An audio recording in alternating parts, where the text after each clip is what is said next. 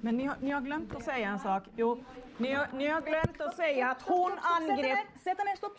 Hon angrep mig i lördags på ett torg och, och tog sönder min mobil. Så ned. Sofia Rana är den som älskar våld. Låt er inte luras! Låt er inte luras! Sofia är anmält! Sofia är anmält för våld. Hon slog mig. Du, forstyrrer du eh,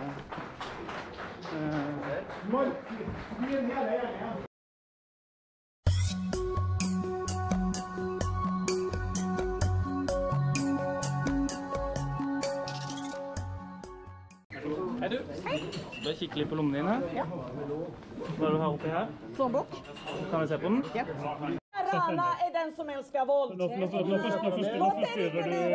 Låt er inte luras! Sofia är anmält. Sofia är anmält för våld. Hon slog mig. Du, Jeg skal bli med ut. Marxist-svin hele gjengen! Forbanna kommunister. Så er det ikke lov å ta bilder inn, så tar hun bilder hele jævla tida. hon förstyrrar alla andra arrangemang. Och det vet ni. Jävla fitta! Det är hon som ödelägger alla arrangemang. Ikke slå meg. Det, det blir veldig dumt. Har jeg slått Ja, du slo meg mot magen nå. Jeg vil ikke du Du, holder du, du, du, vi, vi prøver. Nej, jag vet att jag inte önskar. Jag vill inte ska vara här bara- heller. Jag vill ändå gå. jeg vil bare gå. Forlat området. Merkelig Var der inne og høre på det der skiten. Jævla hyklere! Løgnhalser, nå skulle jeg norsk lov. Altså, jävla når de ikke når de, nekter meg avhør med søk, så da skal de overholde loven. Kjør på. Ja, ja det er korrupte jævler. Skal han, han- Stian ha en Vil du ha en intervju, Stian? Stian Valløen, kom og snakk med oss, da. Hvorfor er det her? Jeg Du skal kommer noe.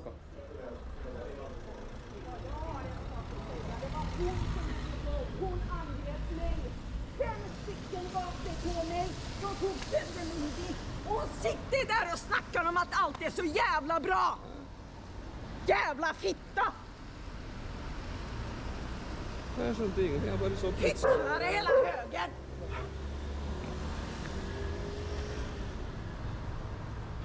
Fan så fega folk är. De sitter där och bara snackar skit och ingen får säga sanningen. Och folk är så jävla dumma så de hör på det där pladdret. Fan alltså. Ja, jag tar hit förstärkning. Jag är gammal 50-årig kärring. Så jävla farlig. De sitter och hånar oss. Men varför kommer all politi då? Nei, men Jeg har snakka med politiet i dag. Altså, politiet har sagt sjøl at de har ikke lov å nekte noen adgang. Den där jävla kossan står bara och ljuger. Hon angriper folk!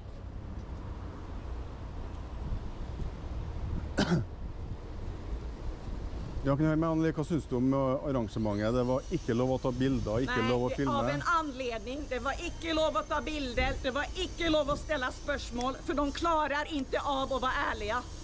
På én time og kvarter så ble ikke Grunnloven og menneskerettsloven nevnt én gang. Exakt. Det er hun som har, Jeg har anmeldt henne for vold. Hun sitter der og flirar. Hon gav sig på fem stycken och slog sönder min mobil. Men problemet er at du forstyrrer Hon forstyrrer alla andra arrangemang. Och det vet ni. Jävla fitta! Det är hon som ödelägger alla arrangemang. Men du, ikke, ikke slå meg. Det, det blir veldig dumt. Har jeg slått Ja, dig? du slo meg mot magen Jeg vil ikke at du holder i meg. Ikke ønsker her Nei, jeg deg ut. Nej, jag vet att jag inte önskar. Jag vill inte vara här heller. Jeg vil aldri gå. Jeg vil bare gå. Forlat området. Ingen som vill vara där inne och höra på det där skiten. Jävla hycklare! Lögnhalsar hela jävla högen!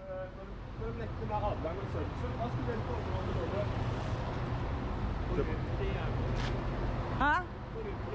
ja, det är korrupta jävlar. Ska han, eh, Sian, ha- Stian ha en eh, intervju med? Vill du ha en intervju, Stian? Ja, då, då, in, ingen fick säga någonting och då reste jag mig upp och sa jag har en sak att säga. Det var hon som är för våld. Hon angrep mig. Fem stycken gav sig på mig. De slog sönder min mobil. Och hon sitter där och snackar om att allt är så jävla bra. Jävla fitta! Jeg hele Jeg. Hycklare hela högen!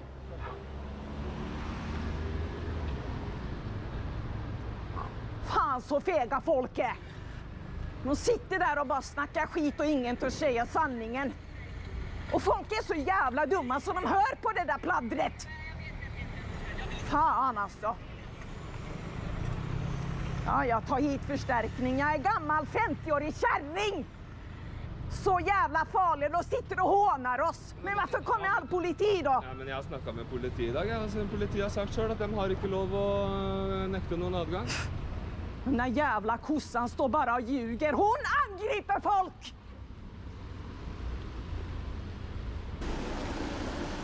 Marxist-svin! Ingen våld på våra gator! Det er jo lov. så er jo ikke det så veldig smart. da.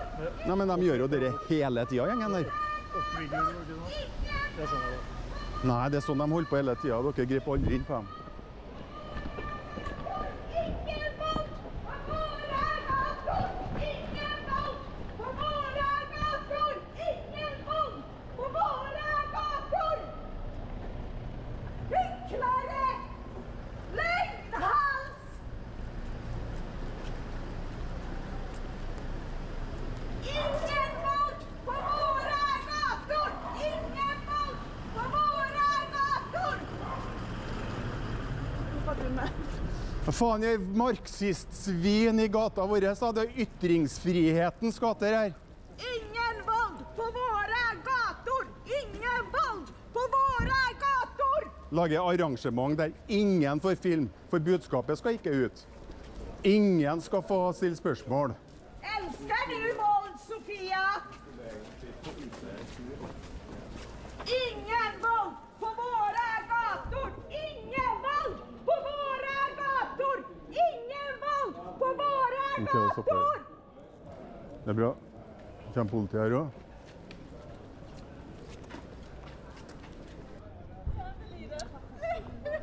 Eh, Vi må bare dra, vi, for hun er bortvist i 48 timer av marxistpolitiet. Å, helvete. Er det mulig? Er det mulig? Men du, vi må ha, vi må ha en liten setting på utsida her.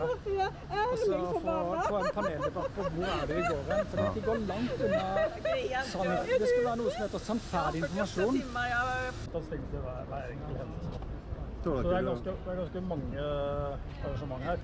tar dere, grunnlag i eh, når sånn vurderes? Og dere vet jo selvfølgelig ikke forkant, men kan når hun forklare at hun har blitt overfalt av Sofia Rana, som står der og snakker om at vi kanskje en gang i fremtida, hvis vi får holde på, muligens kan bli like voldelige som hun? Men dette er jo altså, Hvis det er sånn at det anmeldes. Det er anmeldt. Ja, og det er et spor som ikke er vanlig. Det er et enkelt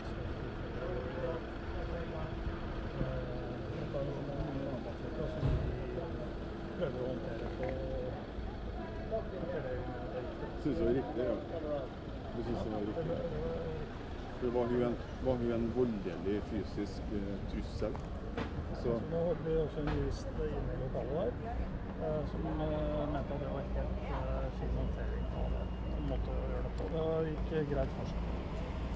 Så, Så kanskje siden når de har demonstrasjoner, skal begynne å ha en jurist med som følger politiet og det juristen säger. Nå er jo Vi har jo Arendalsuka er det jo mange aktører, ikke sant. Eh, veldig mange som har eh, mange som har eh, et budskap, enten det er politisk eller det er næringsliv eller hva det er. Politiet er også til stede på et så stort arrangement. Så med alle mulige slags ressurser.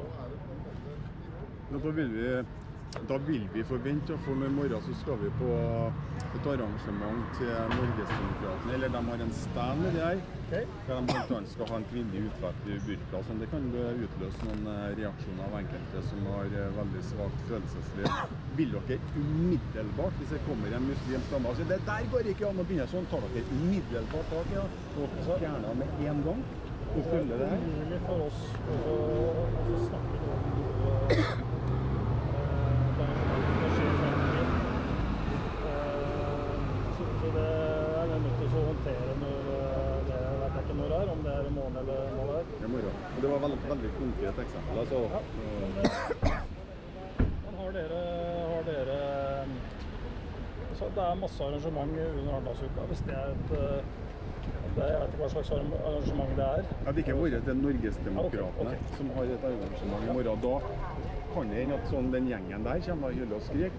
Erfaringsmessig så får de hyl og skrik i timevis med lydforsterkende midler, kasting av vegg, og så vil de Og sånne ting, sånne, ting er jo, sånne ting er jo nødt til å håndtere hvis det kommer helt an på Det kommer helt an på hva slags type arrangement du snakker om, og hvordan det Jeg skjønner det, men har, Ja, du, har, det- det- det- det- har du forståelse at vi oppfatter at når det er på den såkalte venstresida, så er det mye høyere terskel for at politiet griper inn, og når det er på høyresida, så er det en millimeter. Det har holdt med å be hun sette seg ned og roe seg ned, men det var bare rett ut med en gang. Det vil vi Men, men, eh, men eh, altså vi, vi er nødt til å håndtere hver grense. Ja, det Og det at det, du har det ikke det kan ikke jeg kan ikke på en måte si noe på det. Det er din oppfattelse av det. Så politiet prøver å håndtere alle likt, som du har et skriv om der. Det funker ikke helt. Ja, vi prøver i hvert fall etter beste evne å gjøre det. Ja, da min personlige oppfatning at det der gjør dere en utrolig dårlig jobb å vurdere for å følge dere. da. At dere virker som er veldig, at dere er veldig fanga av hva de sier. Her er det fæle folk. Folkene skal vi stoppe de fæle folkene. Men de fæle folkene får jo aldri uttale seg og si at det de sier feil. De sier bl.a. at alle muslimer er fæle folk. Ingen, jeg kjenner ingen som har sagt det noensinne. Neida, men arra- arra- det arrangementet, det arrangementet vi har, den rapporten som vi har lagt fram her, det er jo, det er jo noe de må stå for. Det er et arrangement i det svære arrangementet her. Kommer frem der, det må jo de aktørene stå for. Hva som blir sagt her. Jeg spurte, eh, Skal vi kalle deg fungerende innsatsleder? eller Hva skal vi kalle deg? Hyklere!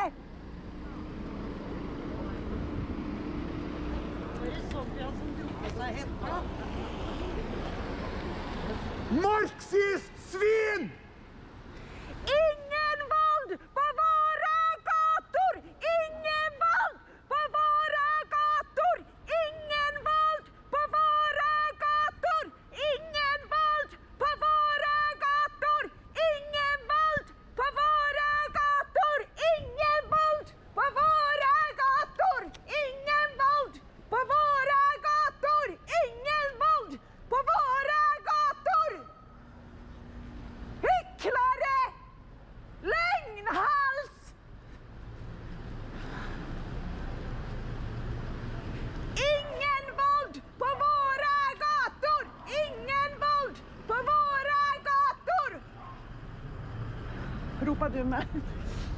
Marxist-svin i gata vår? Det er ytringsfrihetens gater her. Ingen vold på våre gator! Ingen vold på våre gator! Lage arrangement der ingen får film, for budskapet skal ikke ut. Ingen skal få stille spørsmål. Elsker du vold, Sofia? Ingen vold på våre gator! Ingen våld på våra gator! Ingen våld på våra gator! Det er bra. Kan politiet her òg?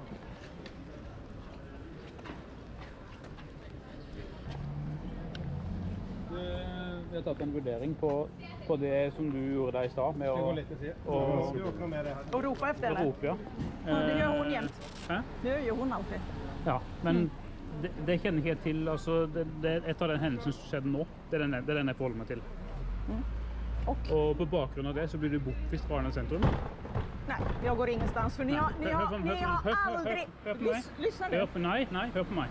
Du blir bortvist fra Arendal sentrum i 48 timer. Varför det?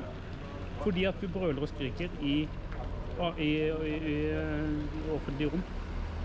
Det blir aldrig dom. De blir aldrig Nei, bortvist. men det, det spiller ikke noen rolle. Det, den avgjørelsen har vi tatt nå. Ja. Då åker jag väl och... Så hvis har du noe ID-kort på deg? Nej, Nei. Hva heter du for noe? Anneli Rønning. Anne, Anneli? Anneli. Sånn? Anneli? Anneli Rønning. Rønning. Og så tid du født? 68 02 17. Hva sa du? 68 02 17. 60, 70 i 8. 70? Nej, 68 02 17. Du, du, du, du det helt du, du sier Jag är 60, svensk. Ja, ja. 68 68 02. Ja, i andre. Ja, Ja. I andre, og så 17. 17. Ja, du sa det feil vei, vet du. Jeg kan skrive, jeg vil ikke ha det på live. Nei, men jeg vil ikke at det kommer Nei, på... nei, nei. Jeg jeg sier den ikke høyt. högt. Ja, men jeg, jeg skriver eh, Ja, du tenker på personnummeret ditt? Ja. Ja, OK. Jeg vil ikke ha det på... To Sånt. Du skriver ditt òg, da. Og adressen. Oi. Jeg må kunne lese det, da.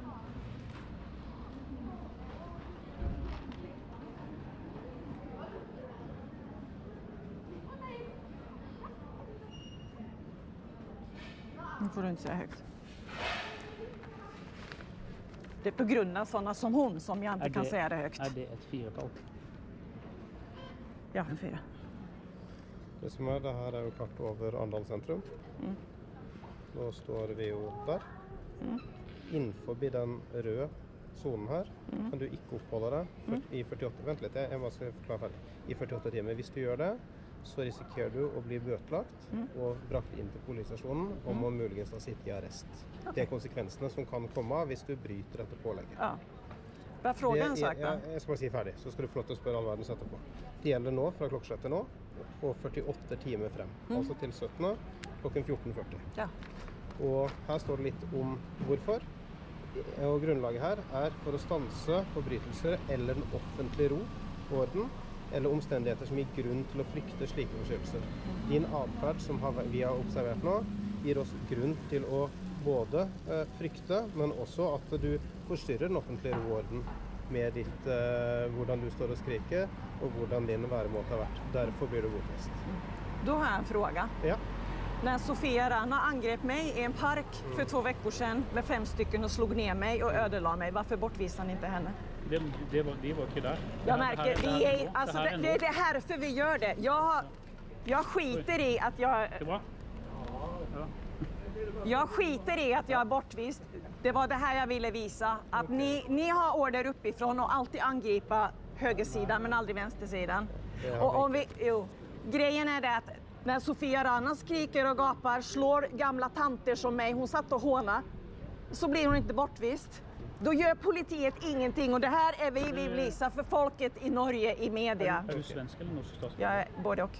Ja, så det er et norsk, norsk eh, Ja, person? det er det. Ja. Och det var det här vårt jobb i Arendal var, så jag åker glädje till eh, stugan och slappnar av nu för att jag har gjort mitt. Men jag har visat att ni, är, ni, ni följer inte lagen. Ok. Vi är inte jag är inte lik inför loven. Men du har forstått pålegget? Jag förstår pålägget till punkt och pricka, inga som helst problem med det. Nej, eller- Och då hoppas jag att nästa gång ni ser Sofia Rana angripa mig, att ni plockar henne och bortvisar henne. Ja, det skal vi gjøre. Hvis vi Gjør ni det? Hvis vi ser det, så Det hadde det vært en annen gjøre. sak. ikke sant? Men det har ikke vi sett. Nei, det är bara lögn Vi alltihopa. har ikke sett det. Vi Det er kan, bare vi kan ikke svare på uh, tidligere hendelser. Vi må vi kjenner ingenting og til. Ja, men ni følger jo det der som kommer inn i øret, eller hur? Nei, vi, Jo, jo, jo. Vi, vi så jo sjøl hva som skjedde her. Ja, ja. ja. Vi ser det er derfor vi gjør det her, for vi ser at ni, ni, ni, ni behandler ikke folk lika. Det er olika hele tiden. Det, det beror på hvem som hyler og skriker. Vänstersidan, vänsteraktivisterna får hålla på hur mycket som helst. De har till och med kastat sten och glasflaskor på folk Men och det- ni det- avlägsnar inte dem. Men det, altså det du mener og det vi tenker, det kommer vi aldri til å bli, heller eller komme til bunns i nå. Det som er faktum, det er at du er blitt bortvist, og det gjelder fra nå. Ja. Så jeg foreslår at du setter i marsj, og så er du bortvist fra Arna sentrum. Ja, jeg setter meg i mars. Innenfor den røde. Ha det! Hva sa han? Jag är bortvist i 48 timmar. 48? Har noen spørsmål? Det dreier seg litt om presedens i forhold til å forstyrre andres arrangement. SOS og Antirasistisk Senter gjør jo ingenting annet enn å forstyrre andres arrangement hele tida. Så tok dere og førte ut hun bare for at hun sa imot noen med én eller to setninger. Da var det rett ut. Jeg håper at det er presedens når andre har arrangement der de gjør alt de kan for å forstyrre. Da. Jeg vet ikke hvilken ordre dere har fått, men det var det mest resolutte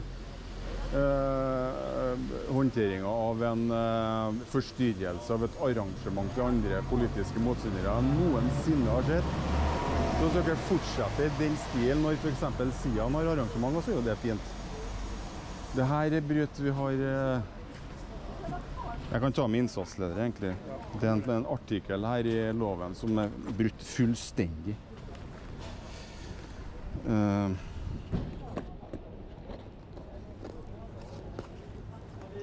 Hvor er dere, Anli? Hvor er denne artikkelen? Der, ja. Den her. Vi kan ta til dere med samme. Alle er like for loven og har uten noen form for forskjellsbehandling rett til lik beskyttelse av loven. I dette øyemed skal lovgivningen forby enhver form for forskjellsbehandling og sikre alle likeverd og effektiv beskyttelse mot forskjellsbehandling på noe slikt som grunnlag av rase, hudfarge, kjønn, religion, språk, politisk eller annen oppfatning. Nasjonal eller sosial opprinnelse, eiendom, fødsel eller stilling for øvrig. Du får ta det med innsatslederen. Er den der nå? Er du innsatsleder? Nei, det er ikke det, men jeg har vært leder akkurat her. Kan jeg ta noen spørsmål til deg? For alternativ media. Det her som bort fra inngangen, så ikke vi Ja, vi gjør det. Ja, kan stå her, da. Eh, Da har det kameraet på, selvfølgelig. Eh, Det, det her var den mest resolutte inngripen jeg har sett noensinne av forstyrrelse av et arrangement av politiske motstandere. Vi har sett den gjengen som er inne der, Antirasistisk Senter, være veldig brutal mot bl.a. Sian, der de får holde på i timevis, kaste gjenstander, brøl, hyl, overdøv. Er noe spesiell grunn at hun etter fire-fem sekunder ble tatt hånd om og ført bort for at hun forstyrra deres arrangement. Jeg har den her. Jeg har lest den opp i sted. Hvis du leser 'Alle er like for loven har uten noen form for forskjellsbehandling rett til lik beskyttelse av loven'. I dette øyemed skal lovgivningen forby enhver form for forskjellsbehandling og sikre alle likeverdig og effektiv beskyttelse mot forskjellsbehandling på noe slikt grunnlag som rase, hudfarge, kjønn, språk, religion, politisk eller annen oppfatning, nasjonal eller sosial opprinnelse, er gjennom fødsel eller stilling for øvrig. Det, det du sier om forskjellsbehandling, det kan ikke, kan ikke jeg uttale meg om. Jeg, jeg jobber jo her nå på dette arrangementet her. Der eh, ble det tydelig på om at vi skal ikke ha noen avbrytelser i det som foregår der inne. Eh, og det gikk jo nesten fint. Eh, da var jo egentlig arrangementet ferdig eh, etter at det ble utført. Så vi følte at det var riktig inngripen av oss.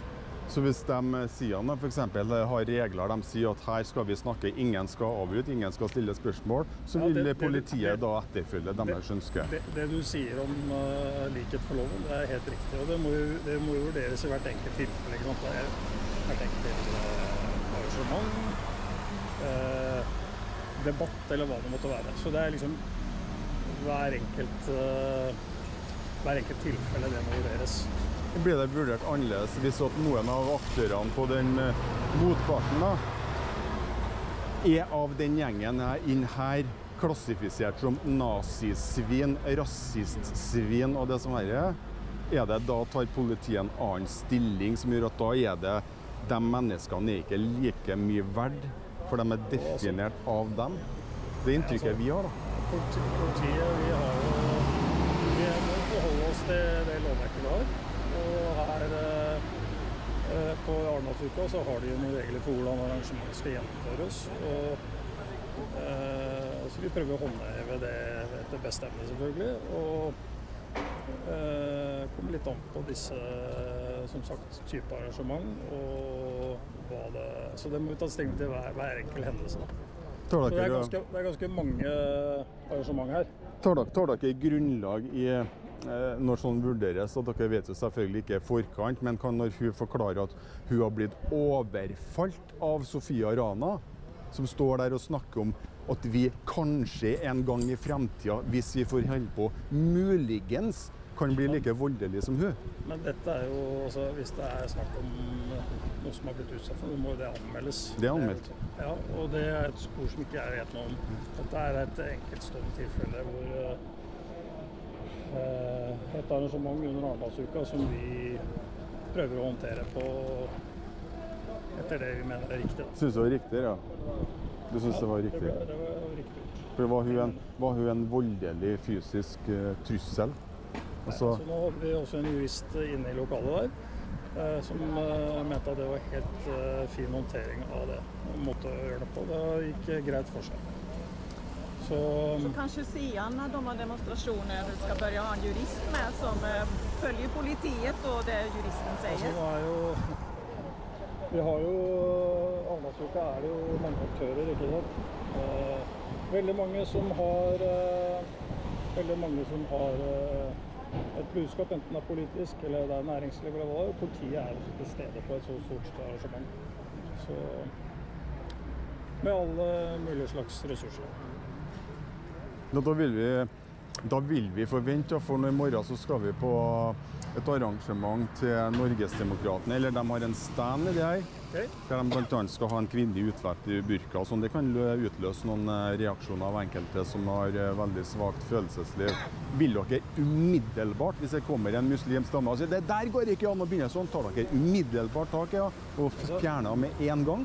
Og følger det her? Det er umulig for oss å snakke noe om noe eh, et arrangement som skal skje fram i tid. Så, så det er vi nødt til å håndtere når det vet jeg ikke når det er, om det er i morgen eller når det er. Det er morgen. Og det var veld, veldig konkret eksempel. Altså, ja, men, det, men har dere, har dere altså, Det er masse arrangement under Arendalsuka. Hvis det er et det, jeg vet ikke hva slags arrangement det er. Ja, det er ikke vært til Norgesdemokratene okay, okay. som har et arrangement i morgen. Da kan det hende at sånn, den gjengen der kommer og hyler og skriker. Erfaringsmessig så får de hyle og skrike i timevis med lydforsterkende midler, kasting av vegg, og så vil de ha politiet og fjerne banen. Sånne ting er vi nødt til å håndtere hvis det kommer helt an på Jeg kan ikke det kommer helt an på hva slags type arrangement du snakker om, og hvordan det Jeg skjønner det, men har du, har du, har du forståelse at vi oppfatter at når det er på den såkalte venstresida, så er det mye høyere terskel for at politiet griper inn? Og når det er på høyresida, så er det en millimeter. Det har holdt med å be hun sette seg ned og roe seg ned, men det var bare rett ut med en gang. Og det vil vi Men, men, eh, men eh, altså vi, vi, er nødt til å håndtere hver enkelt hendelse. Ja, det at, det, at, det, at du har det inntrykket, det, det, kan ikke jeg Jeg kan ikke på en måte si noe på det. Det er din oppfattelse av det. Så politiet prøver å håndtere alle likt, som du har et skriv om der. Det funker ikke i hele tatt. Nei, vi prøver i hvert fall etter beste evne å gjøre det. Ja, da min personlige oppfatning at der gjør dere en utrolig dårlig jobb å vurdere og for å følge dette. At dere virker som er veldig, at er veldig fanga av hva de sier. Her er det fæle folk. Hvordan skal vi stoppe de fæle folkene? Men de fæle folkene får jo aldri uttale seg og si at det de sier er feil. De sier bl.a. at alle muslimer er fæle folk. Ingen, jeg kjenner ingen som har sagt det noensinne. Neida, men Blir dere farga? Det arrangementet, det arrangementet de har, den rapporten som de har lagt fram her, det er, jo, det er jo noe de må stå for. Det er jo et arrangement i det svære arrangementet her. Hva som kommer fram der, det må jo de aktørene stå for. Ja. Hva som blir sagt der. Ja, med spørsmål om det. Spart, uh, kan vi kalle deg fungerende innsatsleder? eller? Ønsker du å støtte Alternativ Media med 49 kroner i måneden? Send SMS til 2003, kodeord AM49. For å avslutte avtalen, send AM49 stopp til 2003.